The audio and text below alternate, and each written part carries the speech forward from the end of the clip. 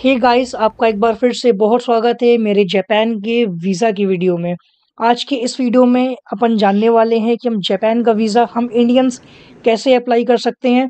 इसके अलावा, जापान का वीज़ा अप्लाई करने के लिए कौन कौन से इम्पोर्टेंट डॉक्यूमेंट की नीड है? इसके अलावा, जापान के वीज़ा की फ़ीस क्या है? और बात करने वाले कितने टाइम लगेंगे इस वीज़ा को मिलने के लिए? और भी कुछ इम्पोर्टेंट्स अपडेट आपको आज की इस वीडियो में मिलने वाला है। वीडियो शुरू करने से पहले मैं आपको बता देता हूँ जापान का जो वीज़ा है, वो सच में एक स्ट्रॉन्ग वीज़ा है। जी हाँ दोस्तों, ये सच में काफ़ी स्ट्रॉन्ग वीज़ा है। अगर आपके पासपोर्ट पे जापान का जो स्टैंपिंग है, वो जापान का वीज़ा आपको मिलता है।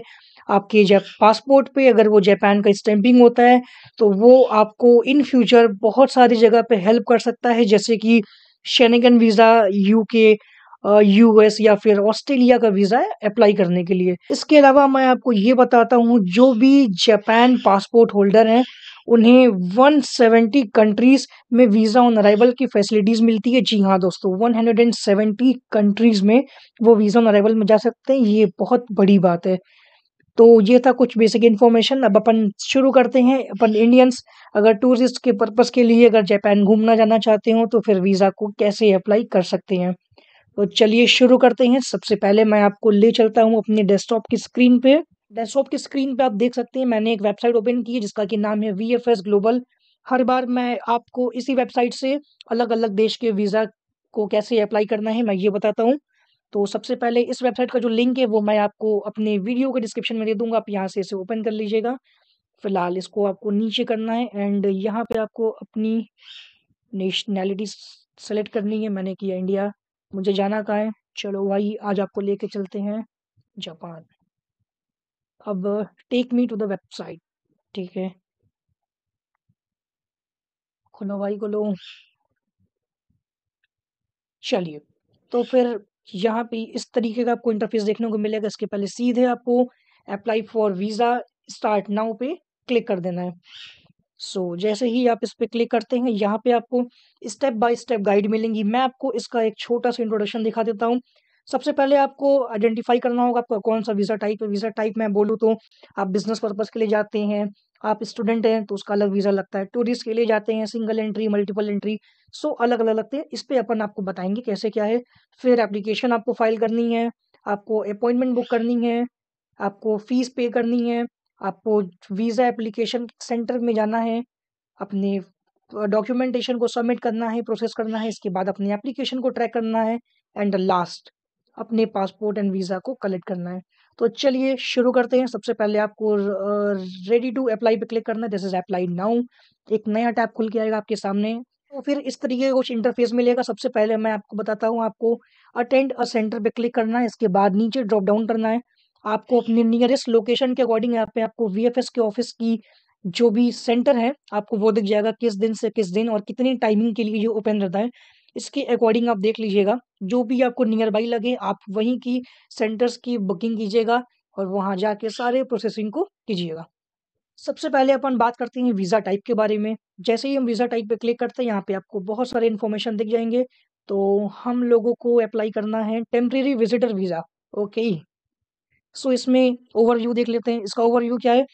This visa allow people to visit Japan for the holiday और recreation for ninety days stay के लिए।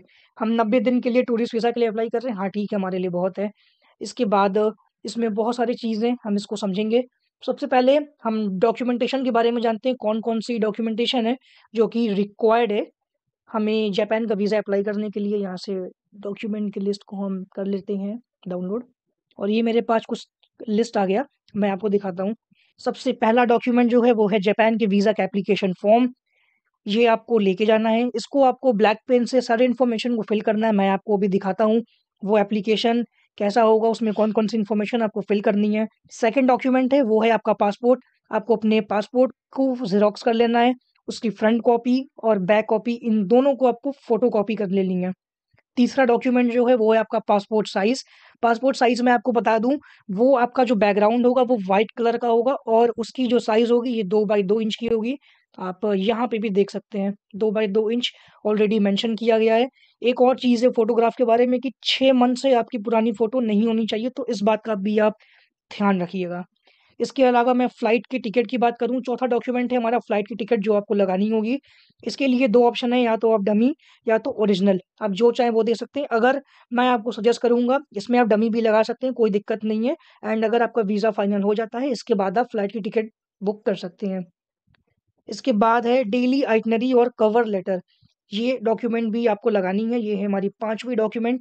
डेली आइटनरी में आप क्या कर सकते हैं, इसके लिए आप कहाँ पे घूमेंगे, जैसे कि आप जापान में इंटर करने के बाद आप फ़र्स्ट डे कहाँ घूमेंगे, सेकंड डे कहाँ घूमेंगे, थर्ड डे कहाँ घूमेंगे, फोर्थ डे, इस तरीके से आप अपनी आइटनरी बना दीजिएगा, डे वन डे टू करके और ये भी इसके साथ डॉक्यूमेंटेशन के साथ अटैच कर दीजिएगा।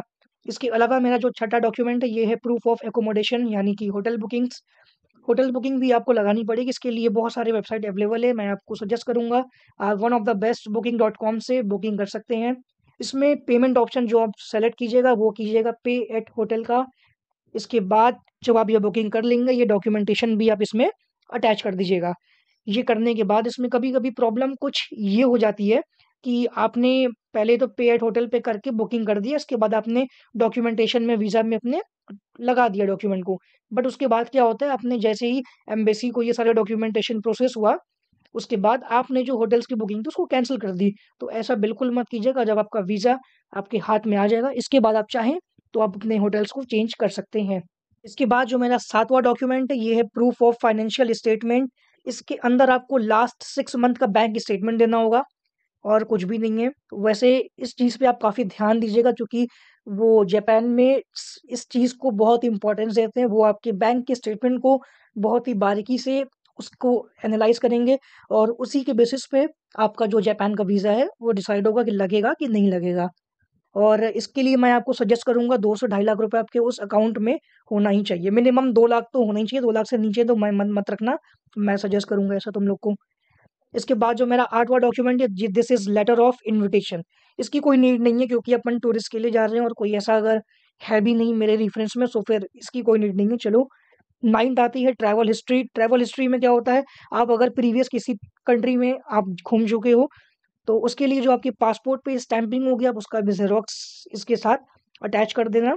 तो फिर ये आपकी ट्रैवल हिस्ट्री हो गई। तो चलिए अपन ने समझ लिया कि डॉक्यूमेंटेशन क्या-क्या लगेंगे। इसके बाद आती है फ़ोटो स्पेसिफ़िकेशन जो कि मैंने आपको बताया था सिक्स मंथ से पुरानी नहीं होनी चाहिए, दो बाई दो की होनी चाहिए, कलर्ड होनी चाहिए, वाइट बैकग्राउंड के साथ होनी चाहिए और गुड क्वालिटी की होनी चाहिए। ये एक एग्ज़ाम्पल है, आप इसको देख सकते हैं। चलिए एक चीज़ छोटी गया मैं यहाँ पे वीज़ा की फ़ीस के बारे में बता दूँ। वीज़ा की जो फ़ीस है वो इंडियंस के लिए ₹500 है, सिंगल एंट्री हो या फिर मल्टीपल एंट्री हो। अदर नेशनल्स के लिए ₹1750 सिंगल एंट्री और मल्टीपल एंट्री के लिए ₹3450 हैं। इसके अलावा मैं बता दूँ वीएफएस जो है वो अपनी फ़ीस अलग से लेता है, यानी आप जो जापान की एम्बेसी को जो वीज़ा के फ़ीस के पैसे पे करेंगे दिस इज़ अराउंड ₹500 और वी एफ़ एस फ़ीस लेगा वो है ₹650 आपके वीज़ा के डॉक्यूमेंटेशन को प्रोसेस करवाने के लिए। तो टोटल आपकी जो वीज़ा की फ़ी लगेगी वो 1100 के आस-पास लगेगी। तो ये था वीज़ा के फ़ीस के बारे में, हमने डॉक्यूमेंटेशन बता दिया, फ़ोटो स्पेसिफ़िकेशन बता दिया। अब बात करते हैं प्रोसेसिंग टाइम के बारे में। प्रोसेसिंग टाइम के बारे में मैं बात करूँ तो विदिन आपका इसमें भी आपके पास दो ऑप्शन होते हैं। पहला ऑप्शन होता है कि आप वीएफएस सेंटर से जाके अपने पासपोर्ट और वीज़ा को कलेक्ट कर सकते हैं। एंड सेकेंड ऑप्शन होता है कि आप इसे अपने घर पे ही डिलीवर करवा लें। तो कुछ ये था प्रोसेस और डॉक्यूमेंटेशन, वीज़ा फ़ीस और फ़ोटो स्पेसिफ़िकेशन के बारे में। अब हम बात करने वाले हैं वीज़ा की जो एप्लीकेशन है, उस वीज़ा के एप्लीकेशन फ़ॉर्म को फ़िल कैसे करना है। सो डाउनलोड फ़ॉर्म पे क्लिक करना है एंड वीज़ा एप्लीकेशन फ़ॉर्म। तो ये है जापान का एक ऑफ़िशियल वीज़ा एप्लीकेशन फ़ॉर्म। सबसे पहले आपको यहाँ पे अपने पासपोर्ट साइज़ फ़ोटो को पेस्ट कर लेना है, साइज़ जैसा मैंने बताया था वैसा, इसे छोड़ देना है। यहाँ पे आपको अपनी इन डिटेल प्रॉपर तरीके से मेंशन करनी है, जैसे कि सरनेम हो गया, आपको जो पासपोर्ट में लिखी हुई है सेम वैसा ही लिखना है, अपने से कुछ भी नहीं लिखना है। तो सरनेम अपना लिख दीजिएगा एंड मिडिल नेम आप इसमें अपना फ़िल कर दीजिएगा एंड इसमें अपना date of birth, place of birth, अपना सेक्स मेल, फीमेल ये सेलेक्ट कर लीजिएगा एंड आपका मैरिटल स्टेटस सिंगल है, मैरिड हैं, डिवोर्स्ड ये सारी चीज़ों को आप देख लीजिएगा। इसके बाद फॉर्मर या किसी हाँ, सॉरी आपकी नेशनैलिटी क्या है, आप इसे देख लीजिएगा। इसके बाद किसी और भी देश का आपके पास सिटीज़नशिप है, तो आप वो भी यहाँ पे लिख सकते हैं। इसके बाद आप ID number issued by your government आप इसे भी लिख दीजिएगा इसके बाद डॉक्यूमेंट है वो है पासपोर्ट टाइप डिप्लोमेटिक है ऑफिशियल है ऑर्डिनरी है या फिर अदर है तो ऑर्डिनरी ही होगा आपका अपना पासपोर्ट नंबर मेंशन कर दीजिएगा प्लेस ऑफ़ इशू इसके बाद date of issue date of expiry issue authority ये सारी चीज़ें आपके पासपोर्ट पे मेंशन होंगी, आप प्रॉपर तरीके से देख लीजिएगा। Purpose of visit to Japan इसके लिए आप टूरिज़्म लिख दीजिएगा यहाँ पे। चलिए, इसके बाद intended length of stay in Japan कितने दिन के लिए आप जा रहे हैं, ये लिख दीजिएगा। किस तारीख को जाएँगे date of entry in Japan किस तारीख को आप जापान में एंटर करेंगे, ये लिख दीजिएगा। हाँ तो फिर आप ये port of entry into Japan ये पोर्ट लिख रहा है, आप यहाँ पे अपने एयरपोर्ट का नाम लिख सकते हैं और name of name of ship और एयरलाइन किस एयरलाइन से आप आ रहे हैं, ये मेंशन कर दीजिएगा। Name and address of hotel और person with whom applicant intending to stay इसमें आप अपना नाम लिख दीजिएगा।